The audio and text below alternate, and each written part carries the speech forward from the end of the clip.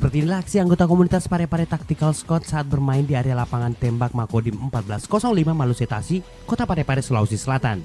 Layaknya film aksi, anggota komunitas Airsoft Gun ini berusaha mengalahkan lawan dengan teknik perang gerilya. Meski terlihat seperti perang sungguhan saat menembak suara yang dikeluarkan tentu tidaklah sebising senjata sungguhan. Karena unit yang dipakai adalah mainan dengan peluru plastik yang berbentuk bundar atau biasa disebut ball bearing. Meski hanya mainan, perlengkapan keamanan tentu saja adalah kewajiban. Mulai dari penggunaan pelindung kepala dan wajah atau Google, hingga sarung tangan dan pakaian tebal.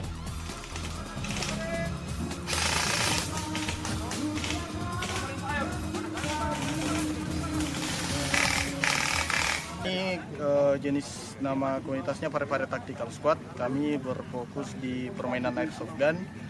Uh, istilahnya seperti simulasi militer, banyak, banyak macam pertandingan PJD, pertempuran jarak dekat, uh, skirmish atau team deathmatch, segala macam. Uh, kemudian perlengkapan perlengkapan paling wajib itu pelindung mata karena mata yang paling penting untuk dijaga. Kemudian uh, perlengkapan yang lain itu opsional. Apa ada ini? Temanku. Permainan dengan airsoft gun ini sendiri berasal dari Jepang dan mulai dimainkan sejak tahun 1970. Permainan ini bertujuan untuk memuaskan rasa penasaran untuk merasakan sensasi berperang sambil bermain dan berolahraga. Di Pare-Pare sendiri permainan ini memang mulai digemari. Agar lebih aman, biasanya komunitas ini memilih lokasi yang sepi dari aktivitas warga. Salah satunya di lapangan tembak Makodim 1405 Malusetasi.